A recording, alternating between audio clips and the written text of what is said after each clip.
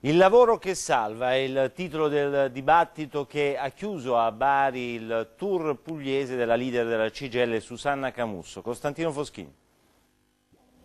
Una donna di 28 anni, sposata ma ancora senza figli, e una pistola carica puntata sull'azienda. È stata scartata con queste parole a un colloquio di lavoro. Susanna Camusso, segretario generale della CGL, assieme al presidente Vendole e al sindaco Emiliano, ha partecipato nella cittadella della cultura di Bari a una tavola rotonda intitolata Il lavoro che salva, il ruolo del lavoro nel contrasto alla violenza sulle donne.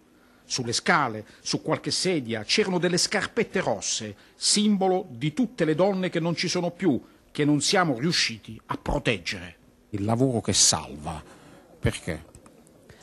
Perché il lavoro è la libertà delle persone, la loro identità e la loro possibilità di costruirsi eh, una vita, perché eh, in tante occasioni non avere il lavoro, penso in particolare alle donne, ti sottopone alla non essere autonoma, a non poter scegliere, quindi anche a subire, perché noi pensiamo che non c'è futuro sviluppo di questo Paese se non rimettiamo il lavoro al centro.